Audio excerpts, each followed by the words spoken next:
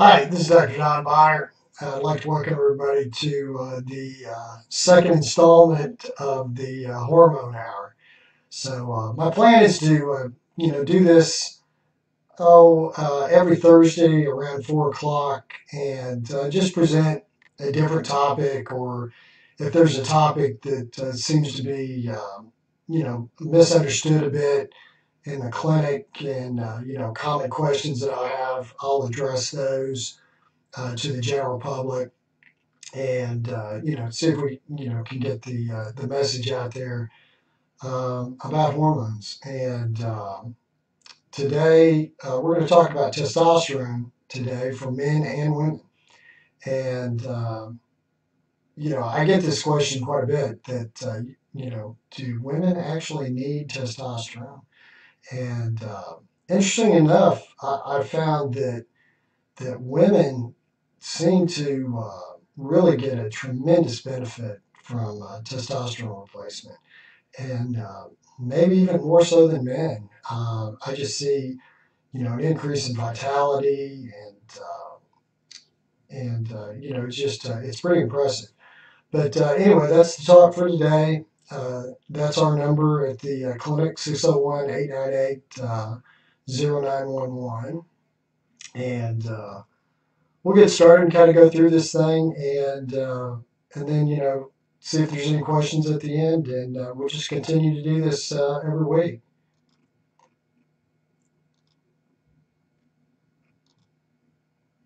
Oh, let's see. There we go so just going to do a quick little presentation and uh, answer, and then you know see if there's any questions at the end so uh, that's me. And uh, quickly, just my biography, so people know, uh, you know, that don't know who I am. Um, I'm an osteopathic physician. I uh, received my medical degree in 1991 from uh, the Kirksville College of Osteopathic Medicine. I did a rotating internship in Iowa in 1992, uh, so that was one year. Then I did an anesthesiology residency at the University of Mississippi for four, for three years, rather, from 1992 to 95. Uh, became board certified in anesthesia in 1995. I've been a practicing anesthesiologist in the Jackson metro area uh, since 1995. Uh, about five years or so ago, I became interested in, in this type of medicine mainly for my own edification, just just because I enjoyed the medicine, and uh, uh, got a board certification from the American Academy of Anti-Aging Medicine in Metabolic and Nutritional Medicine, and then followed that up with uh, uh eight modules uh, for a fellowship and uh, from from the American Academy of Anti-Aging Medicine. So that took a while. That took about four years. Um, one thing I like to do at the beginning of my talks is to kind of help people understand my rationale and way I think. Um, and basically, what I like to do is is I like to reverse engineer basically the you know, the mortality statistics for people over the age of forty. So, what are the things that that are going to kill us after the age of forty? So, if you're older than 40 and you're a non-smoker and not suicidal, these are these are the top four. Cardiovascular disease and cerebral vascular disease or stroke is by far number one. That's that's the big thing that we have to prevent, and uh, that's a big part of what I do in the clinic. And we'll talk about the the the levers that can be pulled to affect that. Cancer is number two. Uh, neurodegenerative diseases are number three, and that's to include Alzheimer's disease, Parkinson's disease, that sort of thing. And number four is accidents.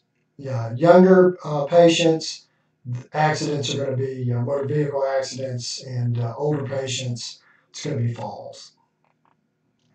So the, what I was talking about earlier, the, the, the levers that we can uh, pull to affect uh, our health number one is diet nutrition. It always comes back to diet nutrition, number one. And uh, in my metabolic reset program, we spend a lot of time talking about uh, diet nutrition and my feelings about uh, diet nutrition. And as as most of you may know, hormones play a big part in that also. There's just different hormones than what we're talking about today. You know, that there we're talking about cortisol and insulin and leptin, and uh, we address all of those hormones in that program. Number two, sleep. Sleep is huge, folks, and um, I know you know it was kind of a big deal, especially when I was younger and you know a resident that uh, you know we thought we were pretty macho. We didn't need sleep. We could stay up and you know work 36 hour shifts and it was no big deal, but it's a big deal, and uh, you have to get proper amounts of sleep for good health. Stress management. Uh, I talk to all my patients about stress management, and very few have any type of practice for stress management. So I recommend yoga. Uh, I, I like meditation. I do meditation personally. And uh, uh, exercise is uh, number four there on the list. Big believer in resistant exercise and uh, muscle mass. You really, as you get older, muscle mass becomes incredibly important. And uh, maintaining muscle mass um, helps with insulin sensitivity a great deal. So big believer. And my my aerobic portion of my workouts and pretty much what I recommend to most people are high intensity interval training of, of some sort. And then hormones. So we check a lot of hormones in the clinic, and uh, we address many of those uh, hormones. Um, again, today we're gonna we're gonna talk uh, just testosterone today. That's it. So quickly, what, what are hormones? They're just really messengers. All is is what a hormone is. So they're they go from one organ to the cells of your body, and they provide a message uh, to that particular cell. And uh, they work in a lock and key fashion. The hormone docks essentially with the cell and affects a change with that cell. So I'm a, I'm a big believer in pellet therapy, and uh, it's not that I haven't used other things in the past, and I have. I've used pretty much all of them with most of my patients. I've used creams, I've used gels, um, I've used all of these things, but the pellets have really made a big difference, and, and I really see a major difference in my patients with the pellet therapy. We'll, we'll get into that in a minute.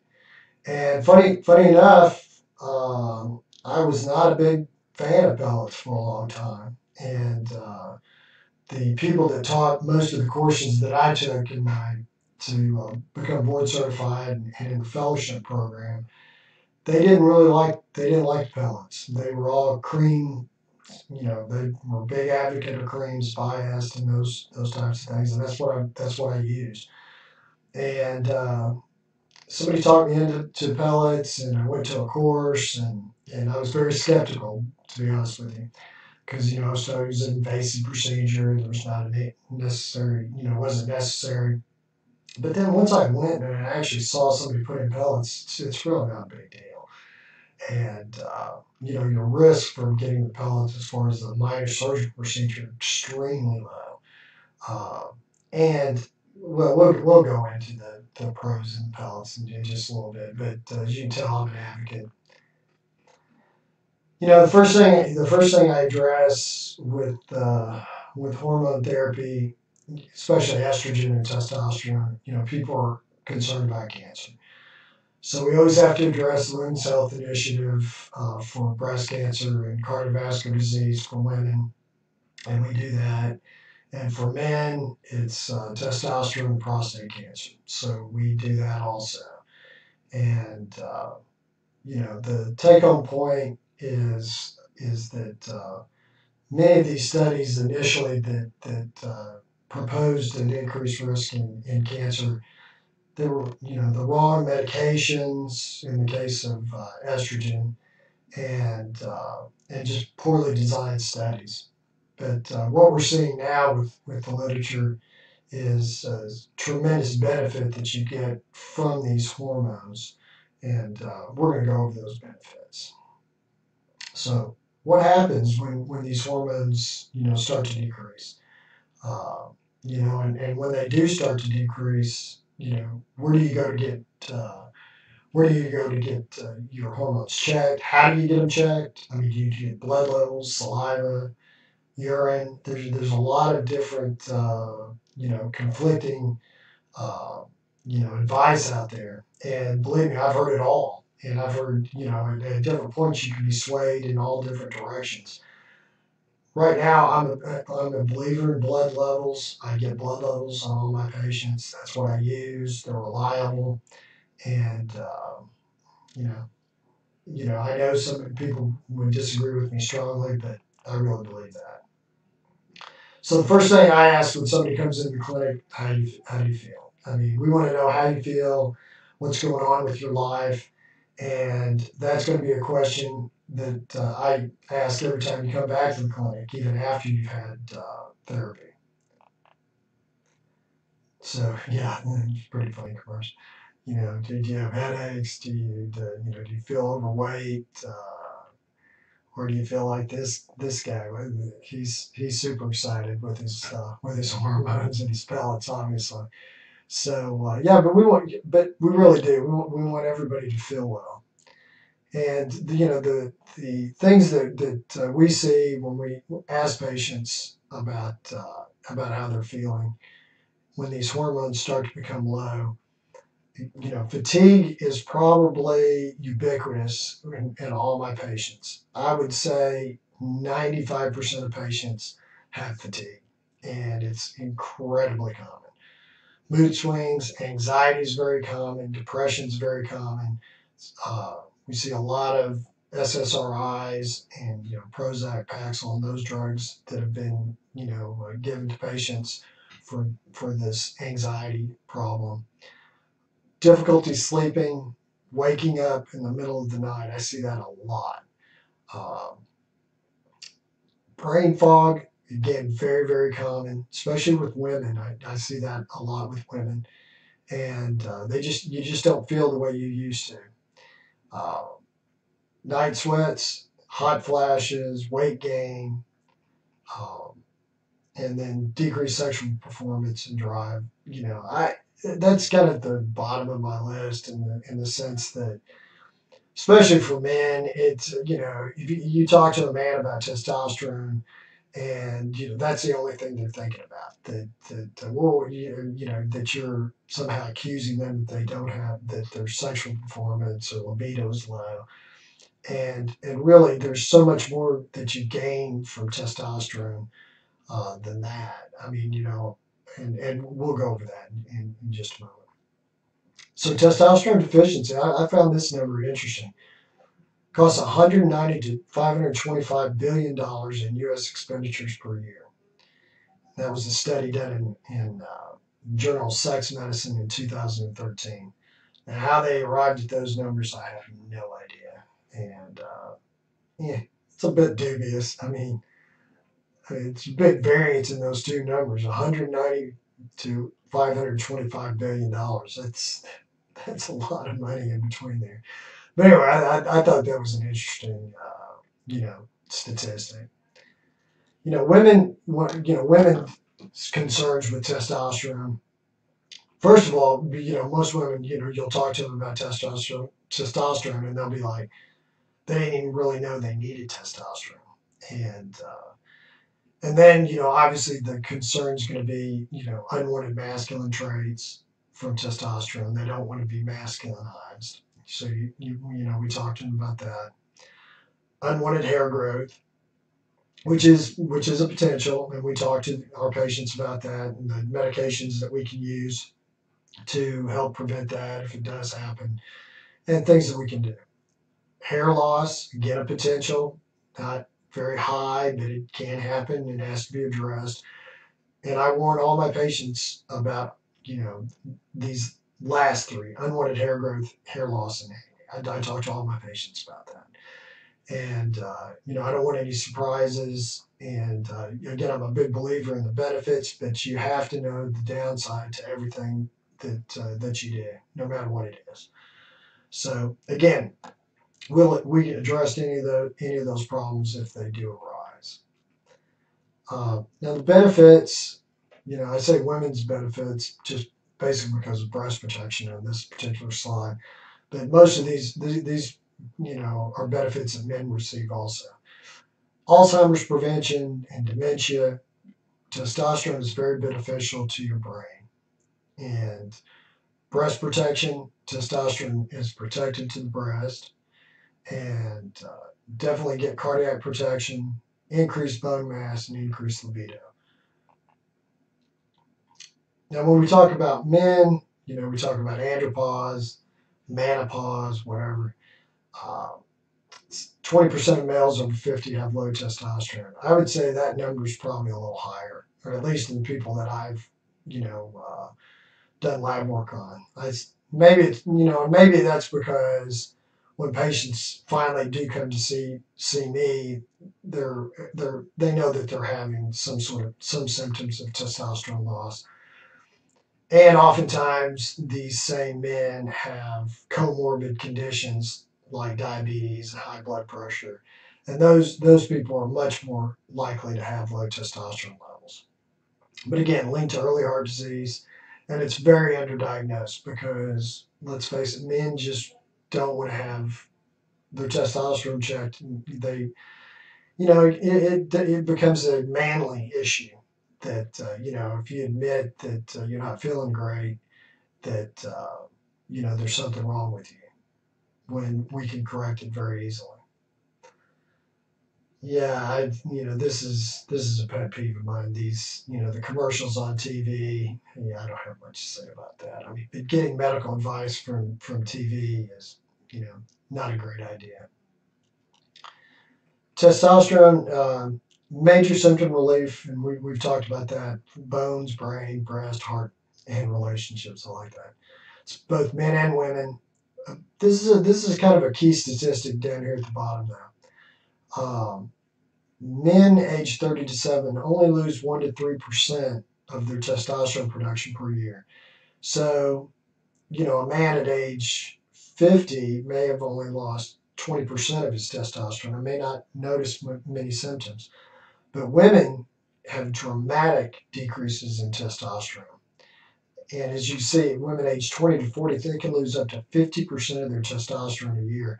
And it's very common for me to measure uh, my female patients' testosterone levels and for them to be in single digits. Very, very low testosterone levels. You know, the positive effects, again, you just have an increase in energy from uh, from testosterone. You really do. And there's a overall sense of well-being. I would say is very very common. Um, I see decreases in anxiety. There's this. It you feel like. Um, I hear it very commonly in my female patients that they just feel stressed and they don't feel like they can handle stress the way they used to. And I think testosterone definitely improves that. Breast protection, we talked about cardiovascular protection, increased bone, very important, increased muscle strength, incredibly important. And uh, again, I can't stress enough how important it is to maintain muscle mass as you get older. Huge advocate. I talk about it all the time. I talk to my patients about it all the time.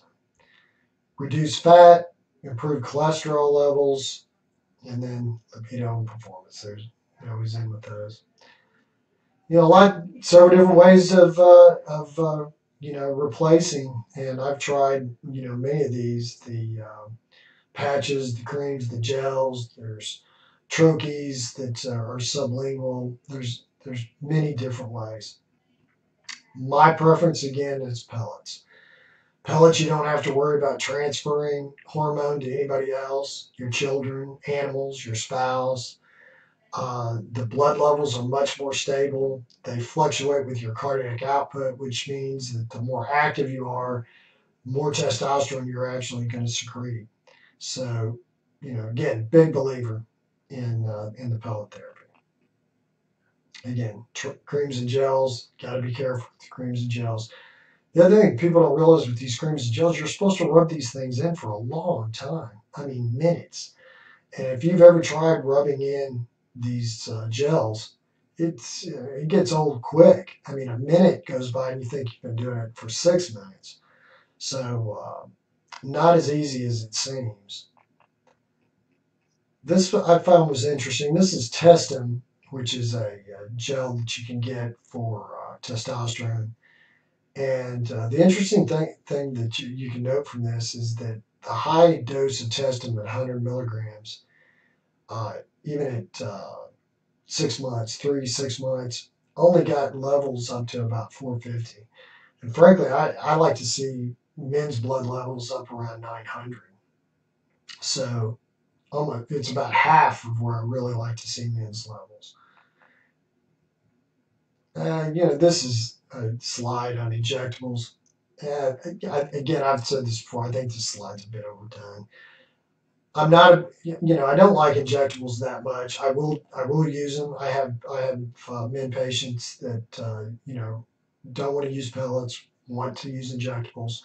We do use them, and uh, I, I find that I just have to do a lot more with the uh, injectable patients. Um, estrogen levels are higher and hematocrits are higher, so we have to do more, you know, blood disposal for the high hematocrits. I have to give more Arimidex to uh, decrease uh, estrogen levels. And the biggest the biggest problem that I really have with the injectables is are that uh, even injecting once a week, you're still going to get a roller coaster effect with the uh, testosterone injections, and uh, you're going to you're going to overshoot the day you have your injection, and by the time it's time for your next injection, you're going to be pretty low. So you, you go on a bit of a roller coaster with the injections, and uh, you know technically, I really think that you should be injecting a couple times a week to get better blood levels. Now pellets, uh, you know, pellets have been around a long time, and I, I didn't realize this until I went to a course, but uh, pellets were developed in the uh, in the 1930s, and uh, they were a prominent delivery method for hormones for a long time, especially in Europe and Australia. Um, but the thing that uh, basically killed the pellets were was uh. When Premarin was manufactured, it uh, you know it seemed easy. You took a pill you were able to get estrogen you know, from the pill without having to have a quote unquote surgical procedure, and uh, pellets really went by the wayside. The one thing that, that, that is very important when we talk about pellet therapy, pellet therapy is bioidentical. And bioidentical, all that means it's not there's you know it's not a gimmick. All it means is that the chemical structure of the hormone, testosterone or estrogen, is exactly the same as what your body produces. So your body sees it as a natural hormone. That's that's all it means. Um, so that's what bioidentical means. It's a very individualized dose. We we go off patients' um, lab work by their weight, by their age. Um, you know, we look at their activity level. There's a lot of things we look at. Do they smoke? Are they, you know, you know, you know, heavy, heavy exerciser? All of these things go into consideration when you, when we uh, when we use the algorithm to decide on the uh, particular dose for the patient. Plus, the uh, the uh, founder of BioTE has has I don't remember what he said, forty or fifty thousand patients that he's put pellets in. So he's got a huge track record. He's uh, he's experienced all the complications and problems that you could potentially have, and uh, really knows how to dose these patients.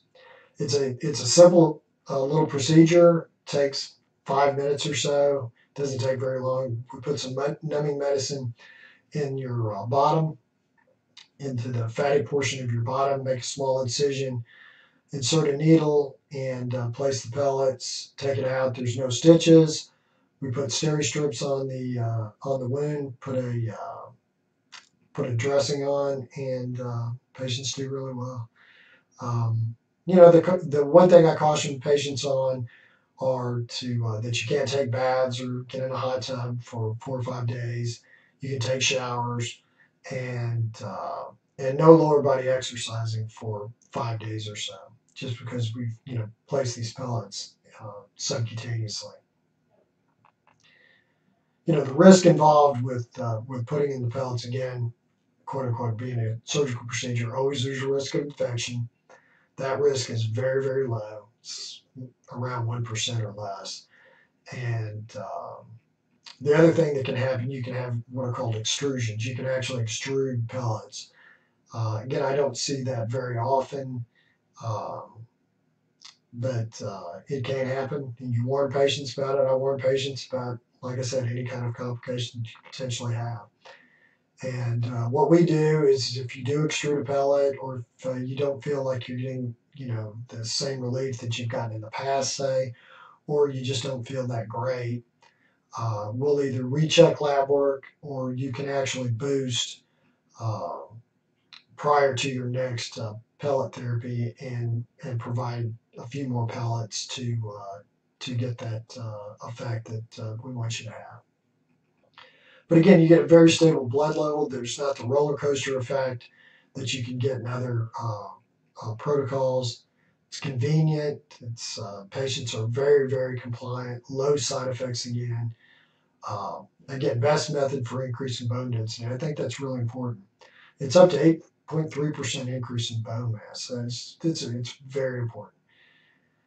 Um, you know, does not stimulate breast tissue and no increase in blood clots. For some reason, I get that question a lot that testosterone increases blood clots. It does not. Um, here's the osteoporosis study. Again, 8.3% per year for pellet therapy. That's, that's pretty impressive. Again, Alzheimer's disease. Obviously, we're concerned about Alzheimer's disease. That's number three on the uh, list that we talked about earlier for uh, morbidity or for mortality.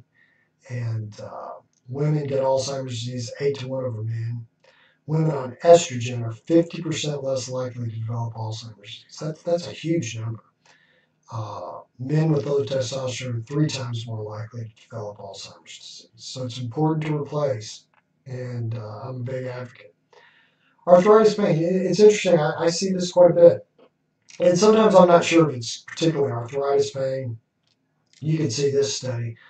But uh, especially people that have uh, um, joint tenderness, muscle tenderness, like fibromyalgia patients, really get a big benefit from uh, testosterone replace, replacement. I definitely see that for sure.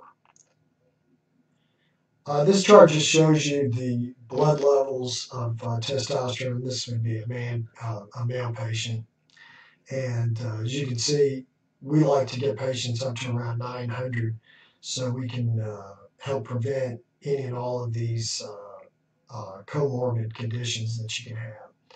So erectile dysfunction, depression, coronary artery disease, fatigue, diabetes, uh, Alzheimer's disease, all these particular things. We want to push that level up to that uh, to that level. Uh, first pellet therapy I tell patients that you can retain a bit of fluid with your first pellet therapy. I'm not sure why that happens, but uh, you know it definitely can happen, and, and it uh, it happened to me because uh, uh, I had pellet therapy. I think the first time in the summer, and I noticed that uh, when I when my uh, feet, especially for some reason, got hot, and they felt like they were swelling. again, we can we can treat that with a mild diuretic. Um, Again, pellet extrusion, we, we talked about earlier, acne. Uh, men, definitely reduction in sperm counts can happen. And if you're a young, uh, young male and uh, you're wanting to have more children, then uh, we look at other alternatives besides testosterone therapy. You know, I use HCG uh, therapy, I use Clomid, and uh, again, we'll do things to to not decrease your or you know not decrease or make you sterile. Well, those those are kind of the take home points uh, about what we do. I've got two programs in the clinic that uh, that I run, and uh, that's it, just two programs. Um, I, I have a program that's just a, a, hormone program where you come in and do a consult for hormones at uh, a little less expensive and uh, takes less time. Still get a history and physical, but it's not quite as in depth. Um, you know, going into uh, some of the specifics that I'll talk about in a second with our other program. But uh, we get lab work, and uh, and then uh, depending on the lab work, then we uh, do the pellet therapy.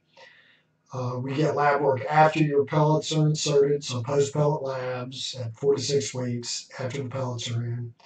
We bring back, see how you're doing, see what the lab work looks like, and then um, and then women typically will make it three to four months with pellets, and men four to five months. And when I tell my patients, the the the usually the first symptom or the symptom that was really bothering you the most that goes away after pellet therapy is usually the first thing that returns. And for the most part, patients call us and uh, tell us it's time to reschedule uh, for their pellet appointment. So, uh, and again, we, we test some other, we test other lab values. Um, I always check thyroid levels for the, even the hormone uh, side of the program. I check a vitamin D3 level, I check a B12 level, and uh, we'll replace those things as necessary.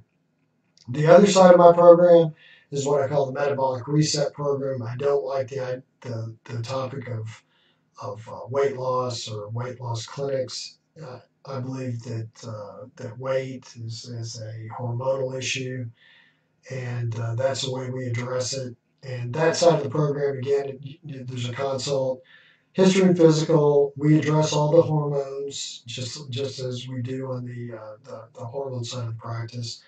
Uh, but we also go heavily into diet, nutrition, sleep, stress management, exercise, and uh, and again hormones. So we, we address all those things.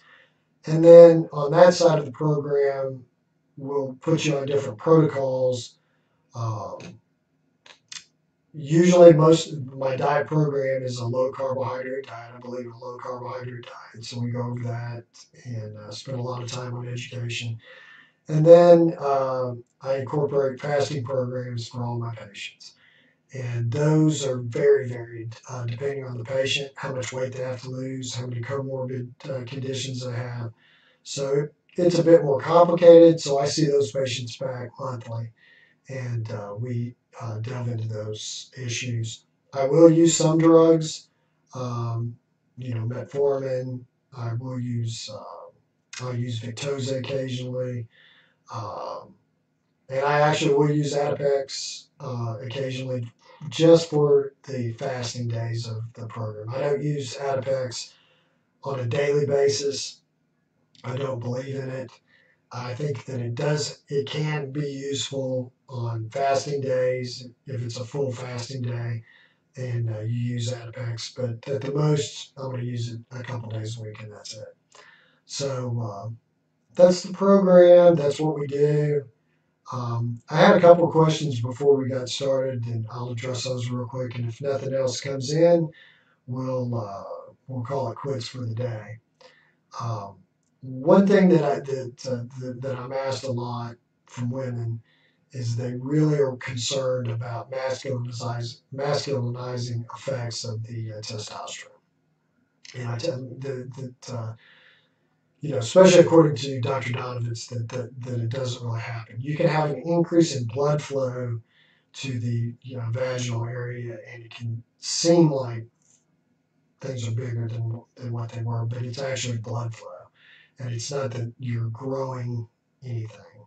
So, uh, you know, I, I, address that concern. That that's a common concern, uh, you know, for my uh, female patients, and uh, and then again, the idea of uh, testosterone for women and if it's necessary or not, and uh, you know.